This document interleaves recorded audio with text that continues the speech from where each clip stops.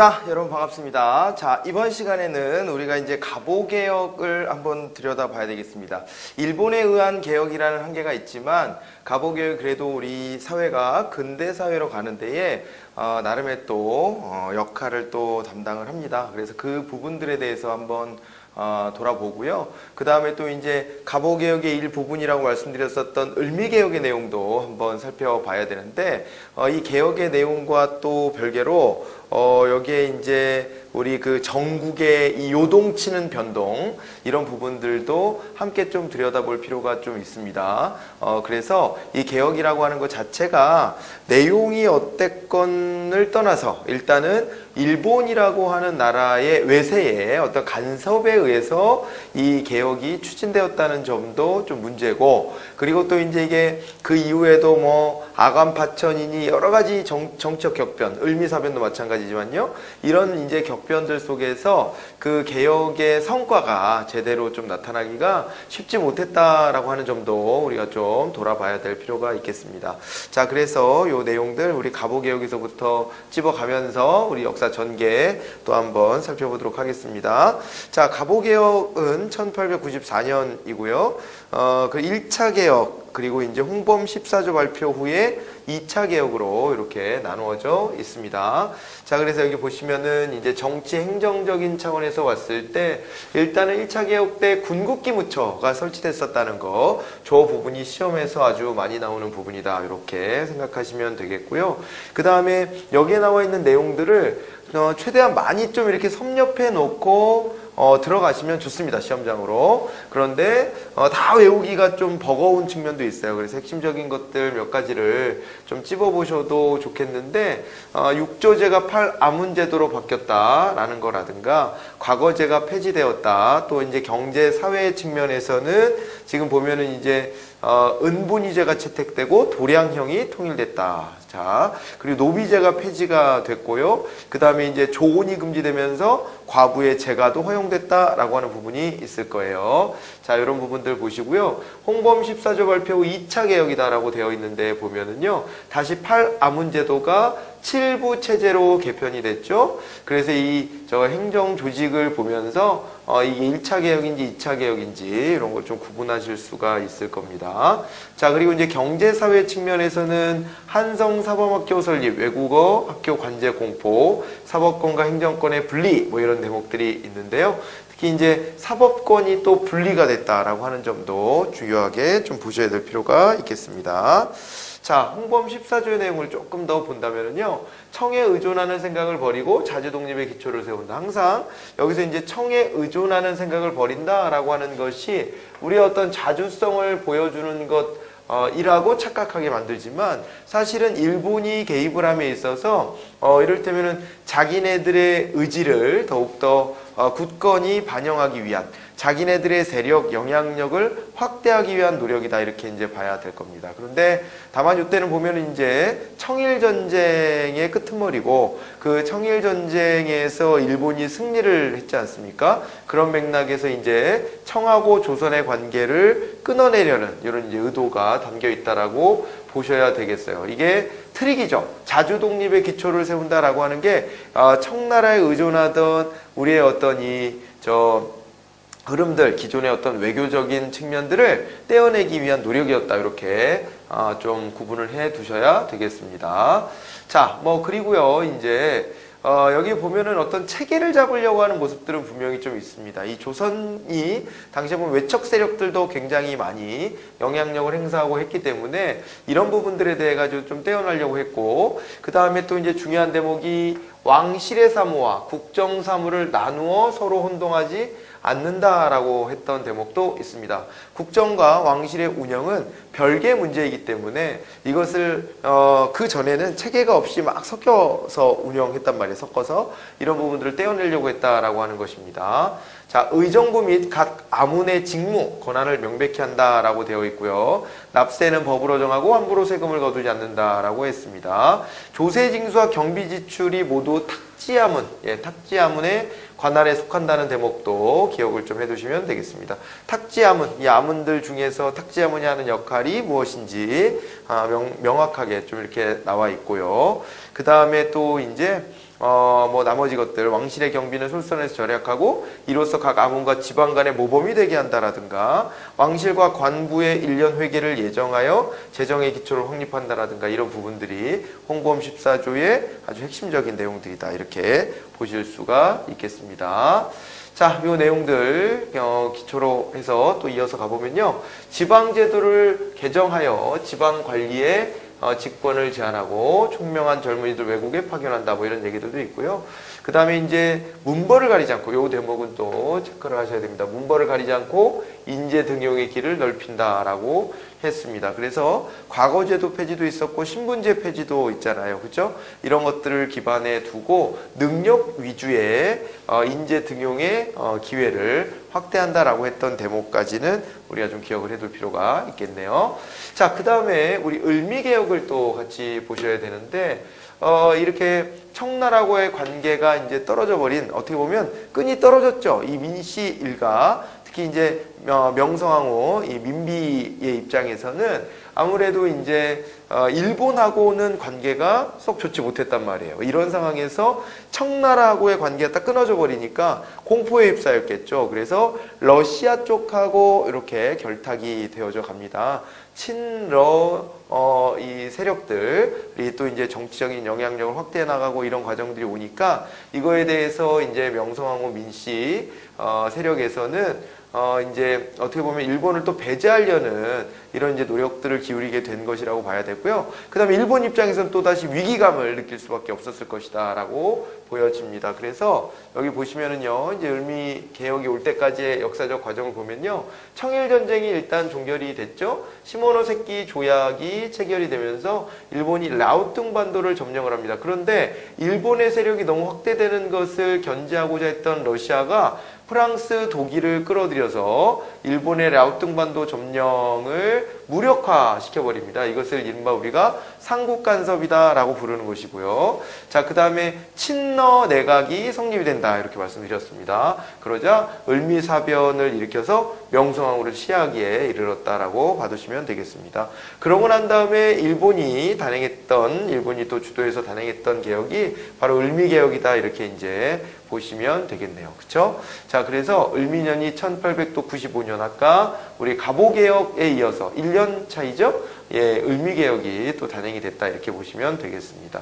이 중요한 것이 어떤 것이냐? 가장 이제 우리가 눈여겨봐야 되는 애가 바로 단발령의 시행이죠. 이 단발령의 시행이 또 시험에서 아주 많이 나오고요. 그렇죠? 자, 그 다음에 또 이제 종두법이라든가 태양력 사용 같은 것도 또 같이 또 기억을 해두시면 좋겠다 이렇게 아, 말씀드릴 수 있겠습니다. 그래서 을미개혁이 단행됐던 이런 것도 한번 봐두시고요. 그러니까 이제 친일 정권이 친러 정권으로 바뀌었다가 다시 친일 정권으로 바뀌는 이런 역사가 이 가보개혁 을미개혁 과정에 어, 있었다 이렇게 보시면 되겠습니다. 그리고 가보개혁이 1차, 2차, 3차에 걸쳐서 이렇게 이루어졌다는 것 을미개혁이 그 끝자락에 있다는 것을 보시면 되겠습니다.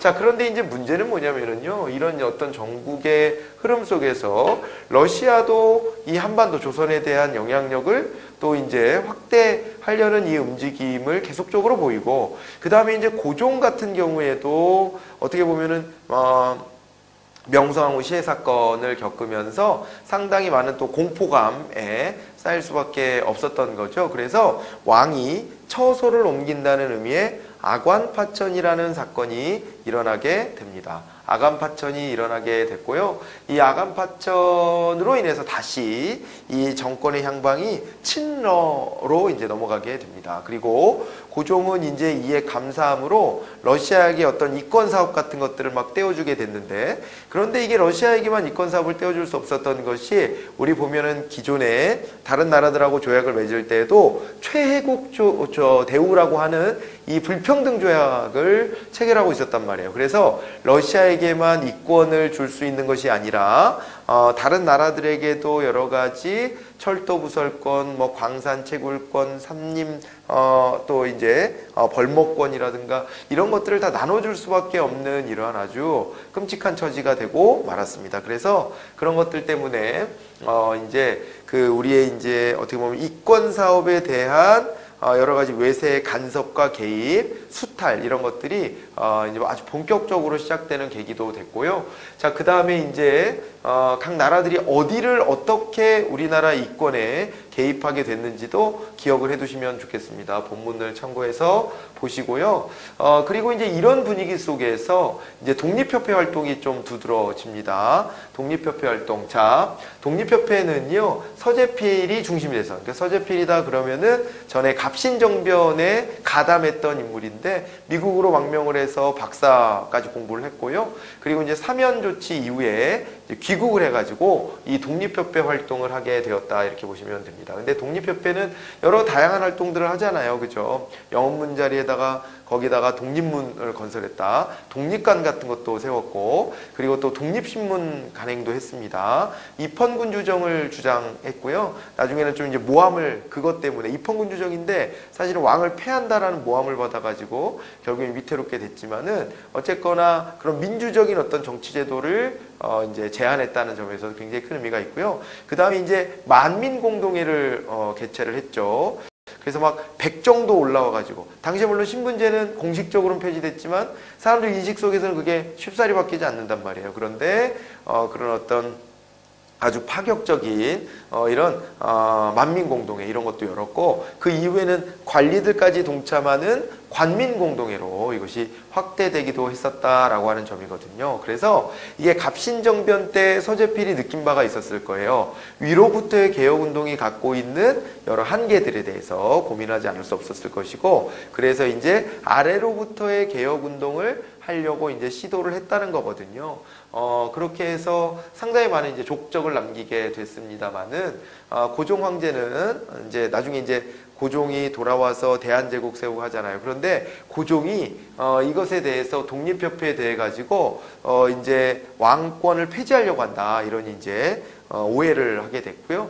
어, 그것 때문에 보부상들의 모임이라고 하는 한국협회를 시켜서 이 어, 독립협회 해산 작업에 나서게 됐다라고 하는 점 안타까운 부분이 있습니다. 자 그리고 독립협회가 제시했던 개혁 방안 허니 6조 기억을 꼭 하셔야 되겠죠? 허니 6조가 있습니다. 자 외국인에게 의지하지 말고 관민이 합심하여 황권을 공고히 할 것 이렇게 됐고요. 외국과 이권에 관한 계약과 조약은 각 대신과 중추원 의장이 합동 날인하여 시행할 것.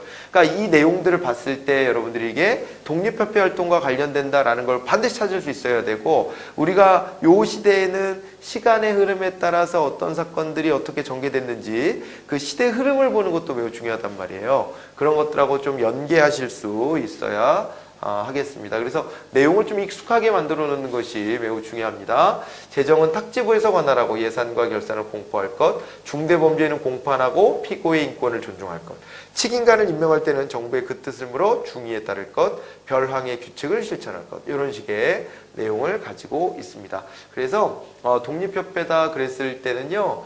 어, 이렇게 자주 국가에 대한 열망들도 가지고 있었고 민주주의 실현에 대한 의지도 분명히 가지고 있었습니다. 그러면서도 민권에 대한 부분들도 어, 충분히 좀 이렇게 담아내고 있었던 운동이 그 활동이 바로 독립협회 활동이다 이렇게 보셔야 되는 거거든요. 그렇죠? 그래서 독립협회에 대해서 아주 중요하게 이렇게 의미를 담아내시기 바랍니다. 자, 그래서 활동 내용 간단히 말씀드렸었는데 독립문, 독립관, 독립공원 등을 건립했고요. 만민공동회와 관민공동회를 어, 개최를 했다라고 하는 거고요. 아까 우리가 봤던 허니 6조 같은 경우는 관민공동회 개최에서 채택을 했다라고 하는 것이고 역사상 최초의 의회 설립 단계까지 갔던 의회식 중추원 신관제를 반포했다라고 하는 것 어, 이것이 중요한 의미가 되겠습니다. 그렇죠? 자 그리고 뭐 그 전에도 만민공동회를 통해서도요. 어, 러시아의 군사 재정부문 철수, 한너은행 폐쇄, 전령도에 대한 조차 요구 좌절 이런 부분들이 있고요. 우리나라 최초의 근대적 민중 집회였다라고 하는 점 이런 것들이 굉장히 큰 의미가 있겠습니다. 자 그러나 고종이 황국협회 등을 동원해서 강제 해산에 나섰다는 점 이래가지고 결국에는 또 실패하고 말았다는 게 좀 아쉽게 느껴지는 대목입니다. 자, 그 다음에 이제 대한제국으로 이제 와야 되는데요. 결국에는 이렇게 독립협회 등에 어, 고종의 이제 환궁 요구가 받아들여지는데 어, 이 저 고종은 이제 러시아 공사관에서 훤히 내려다 보이는 덕수궁으로 일단은 처소를 다시 옮기게 되었습니다. 그렇죠? 그래서 일본의 어떤 압박이나 이런 것의 중압감 이런 것들을 좀 어, 여전히 러시아하고 좀 의존적인 관계 속에서 풀으려고 했던 측면도 있었지만 어쨌거나 고종이 그래도 막판에 좀 힘을 냈던 게 바로 대한제국을 통한 개혁이었습니다. 대한제국은 복고적 개혁을 했다라는 비판을 물론 받기도 어, 합니다만은 이 광무개혁을 통해 가지고 나름의 또 개혁 정책들을 실현해내려고 노력했다는 점도 어, 우리가 또 높게 평가를 하지 않을 수가 없겠습니다. 자 보시면 대한국 국제를 반포했는데요. 대한국은 세계 만국이 공인한 자주 독립 제국이다라고 했고요. 대한국의 정치는 만세 불변의 전제 정치다 이렇게 했습니다. 그래서 이게 복고식 제- 개혁이었다라고 어, 하는 점. 그러니까 어, 이제는 대한 제국을 선포하면서 황제를 어, 가지고 있는 국가 왕을 황제로 이제 바꾸게 됐고 어, 그러면서도 이제 전제 정치를 특히 강조했다는 점에서 어, 복고적 성격이 매우 강하다 이렇게 보셔야 되겠습니다. 아시겠죠? 나머지 내용들도 그렇게 보시고요. 어, 이때 이제 대한제국에서 추진했던 이 개혁이 바로 이제 광무 개혁입니다. 그러니까 가보 개혁, 을미 개혁, 그리고 광무 개혁으로 이어지는 이 흐름들을 놓치지 않고 보셔야 되겠고요. 황실의 위험을 보이기 위한 황실 재정 개선을 위해 종래 탁지부 그 다음에 농상 공부에서 관할하던 전국의 광산, 철도, 홍삼 제조, 그리고 백동화 주조, 수리 관계 사업을 국내부의 내장원으로 이관하였으며, 그러니까 이제 왕권의 전제화, 황, 황제권의 황권의 전제화를 강력 추진하는 것이죠. 그 수입은 황제가 내탕금으로 사용하도록 했다라고 해서 어떻게 보면은 가보개혁의 내용이 훨씬 더 좀 진일보해 보이기도 합니다. 자, 그런데 어쨌거나 그건 자주성이 상실된 형태였고, 그 다음에 이제 대한제국은 그래도 고종이 자기 중심으로 뭔가를 다시 한번 도모해 보려고 했다라고 어, 하는 점에서 어, 분명한 차이가 있다. 이렇게 비교를 해야 될 것 같고요. 그 다음에 이제 상세를 징수하고, 그 다음에 상무사를 조직하여 영업세 징수를 맡겼다. 이렇게 되어 있고요. 그 다음에 황실지경의 공장들도 이렇게 설립을 했습니다. 근대적 공장도 설립하고 그 다음에 이제 근대적 토지 지세 제도를 마련했다라고 하는 것인데 이제 양전 사업을 해서 농토를 확보하려고 하고요. 그 다음에 이제 지게를 발급해서 근대적인 형태의 땅의 소유 관계 도 정비를 하려고 시도했다는 점 아주 중요하게 같이 보시면 좋겠습니다. 자, 이런 것들이 이제 광무개혁의 주요 내용들이었다 이렇게 확인하시고요. 자, 이제 음, 그 이후에 이제 모습을 봐야 됩니다. 마지막 투혼을 불살랐던 것이 바로 이제 대한제국이다라고 볼 수가 있고요. 어, 그 와중에도 이미 어쩔 수 없이 이제 또다시 일본과 러시아의 대결 구도는 또 첨예하게 또 이제 맞서게 될 수밖에 없었습니다. 원래 조선을 둘러싸고 이제 군침을 흘리던 나라들이 여러 나라들이 있죠. 강대국들이 여러 개가 이제 왔다 갔다 이렇게 하게 되는데 그 중에서도 청나라는 이제 청일 전쟁 과정에서 밀려나가게 됐고 뭐 여러분들 기억하시겠지만 동학농민운동에 대한 진압 차원에서 청나라의 군대 파견을 요청했고 이것이 텐진 조약에 의거해서 일본 군대까지 같이 들어오게 됐지 않습니까? 그러면서 이제 아, 청나라와 일본 군대가 부딪혔는데 그 부딪힘 속에서도 일본이 이제 승리를 거머쥐게 됐다는 거잖아요. 일본이 그 승리를 거머쥐면서 결국에는 이제 어, 청나라는 밀려났습니다만은 다시 일본하고 관계가 좋지 못했던 이 왕실에서 러시아를 적극 이제 끌어들이게 됨으로써 러시아와 일본 사이의 다툼이 본격화가 되는 겁니다. 자, 어, 일본은요 주변국들의 동의를 많이 좀 끌어내게 됩니다. 저것도 굉장히 큰 힘입니다. 러시아를 경계하려고 했던 영국하고 이게 쿵짝이 딱 맞아버린 거죠. 그래가지고 이 영국이 영국이 결국에는요 일본의 편에 서줍니다. 그래서 어, 제1차 영일 동맹이 있는데요. 어, 영일간 러시아에 대한 군사적 동맹을 맺었다 이렇게 보시면 되고요. 그 다음에 또 하나 또 이제 작업 들어왔던 것이 가스라 테프트 미략입니다. 그래서 미국은 미국 본토에서 미국 본토에서 자기네 세력을 이 캘리포니아 쪽으로 이렇게 확장을 했고요. 캘리포 캘리포니아 쪽으로 확장한 것에서 더 나가서 태평양 지- 어, 지역 일대를 태평양 일대를 자기네 이제 근거지로 삼으려고 했습니다. 그래서 거기를 다 이렇게 장악해 가면서 결국에 이제 도달하게 된 데가 필리핀 쪽이거든요. 그래서 이제 조선에 대해서는 일본이 이제 지배를 하고 그 다음에 미국은 필리핀 쪽을 지배할 테니 일본이 관여하지 않는 것으로 관여하지 않는 것으로 이렇게 해 가지고 밀약이 맺어지는데 아주 중요한 밀약입니다. 가쓰라 태프트 사이의 밀약이다. 가쓰라 태프트 밀약 이렇게 봐두시면 되겠습니다. 그리고 어, 제2차 영일 동맹도 맺어지게 되는데요. 어, 영국은 인도 그리고 일본은 한국에서의 우위권을 인정하게 됐다라고 어, 하는 것입니다. 그렇죠? 자, 그래서 영국에게도 인정을 받게 됐고요. 포츠머스 조약은 이제 러일 전쟁에서 러시아가 결국에는 어, 패전하게 됐습니다. 어, 1904년부터 1905년에 걸쳐서 어, 러일 전쟁이 이제 벌어지게 됐는데 이 과정에서 어, 일본이 승리를 하게 됩니다.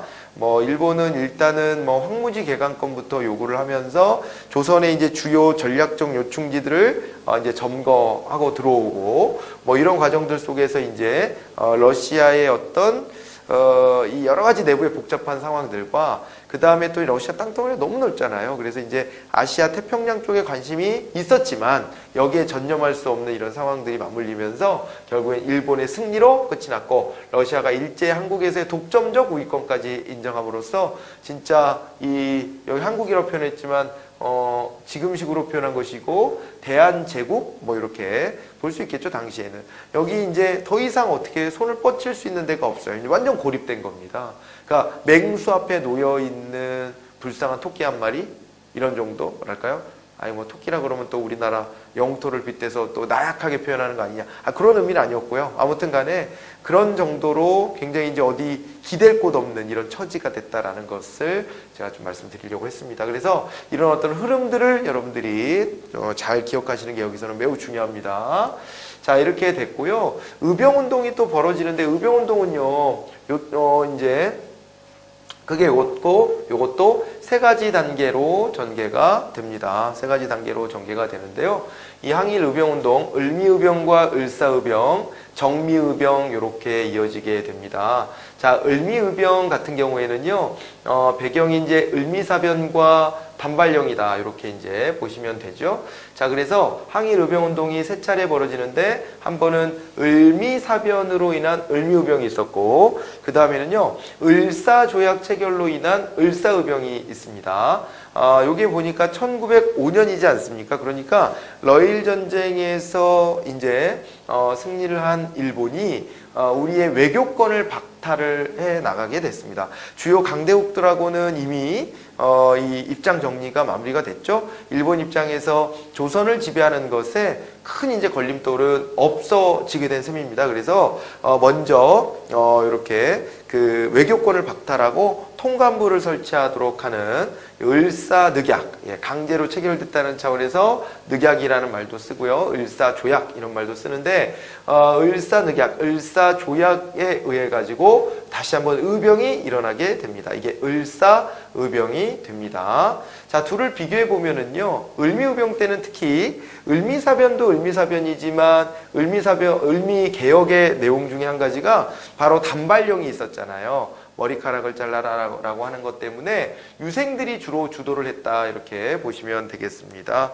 그래서 어, 이 단발령에 대한 저항의 성격도 굉장히 이제 컸다 이렇게 이제 보시면 되고요. 아간파천 후에 단발령이 철회가 됐고 고종의 해산 권고 조칙 발표로 인해서 을미의병은 해산이 됐습니다. 자 그런데 을사의병 같은 경우에는 이제 나라의 국권이 완전 위태로워지는 이런 상황이 됐기 때문에 보시면은 이제 유생의 의병장, 유생 출신 의병장 민종식 최익현, 최익현 잘 아시죠? 최익현 같은 경우에는 또 시험에도 단독으로도 출제가 자주 되고 있습니다. 아, 최익현 선생 같은 경우에는 어, 이제 어, 의병장으로 활동하다가 체포가 돼가지고 어, 스시마 섬으로 유배에 보내졌는데 스시마 섬에서 일본이 주는 곡식은 내가 먹지 않겠다.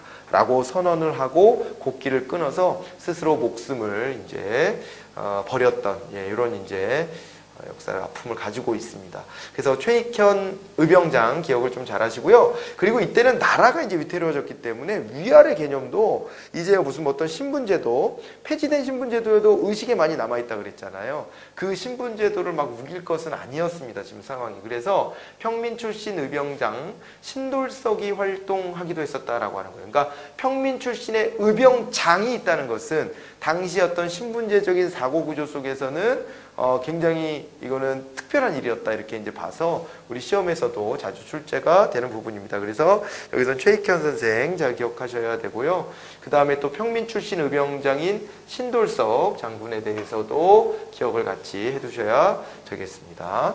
자, 그 다음에 정미의병이 있는데요. 그 이후에 또 이제 음, 또 뭐가 있냐면은요. 어, 1907년에 어, 가면은 어, 헤이그 밀사 사건이 있습니다. 그러니까 을사 조약의 부당성을 알리기 위해서 이준, 이위종, 이상설 이 세 명을 특사로 고종이 네덜란드 헤이그에서 열리는 만국 평화회의에 참석시키려고 했는데요. 어, 참석시켰는데요. 그런데 이제 어, 여기에 가서 일본의 어떤 부당한 행태 이런 것들을 국제사회에 호소하는 데는 성공을 했지만 어, 일본 입장에서는 이것에 굉장히 크게 분노를 하고 어, 그 다음에 이제 어, 고종을 강제로 퇴위시키고요. 예, 정미 7조약을 체결하고 이렇게 하면서 군대도 해산되고 이렇게 됐습니다. 고종은 강제로 퇴위가 됐고 군대도 해산되는 어, 이런 일이 벌어지게 됐고요. 그러면서 이제 정미 의병은 어, 이제 의병 전쟁의 형태를 띠게 되기까지 합니다. 자, 이렇게 해상군인들이 참여하게 됐다라고 하는 것은 아무래도 전술적인 차원이라든가 여러 가지 측면에서 어, 이제 보다 더 체계적인 의병 활동을 전개할 수 있게 됐다는 점에서 의미가 깊겠죠. 어, 그래서 결국에 13도 창의군 결성을 하고 요거 특히 시험에 또 잘 나옵니다. 그러니까 최익현도 잘 나오고 그 다음에 이 의병 활동 자체가 시험에서는 아주 단골이지만은 또 서울 진공 작전이 아주 시험에서 자주 다뤄지고 있어요. 서울 진공 작전을 벌였는데요. 어, 실패를 하게 됐다. 이렇게까지 기억을 해 두시면 되겠습니다. 자, 항일 의병 운동 이렇게 3단계로 해서 기억을 해 두셔야 되고 이 와중에 제가 역사적 전개도 짬짬이 이렇게 쭉 설명을 드렸어요. 다시 한번요. 우리 이제 지금 보니까 어, 어떻게 됐었냐면은 어, 강화도 조약 체결 때부터 한번 볼까요? 강화도 조약 체결됐죠. 그러고 난 다음에 이제 뭐 미국 등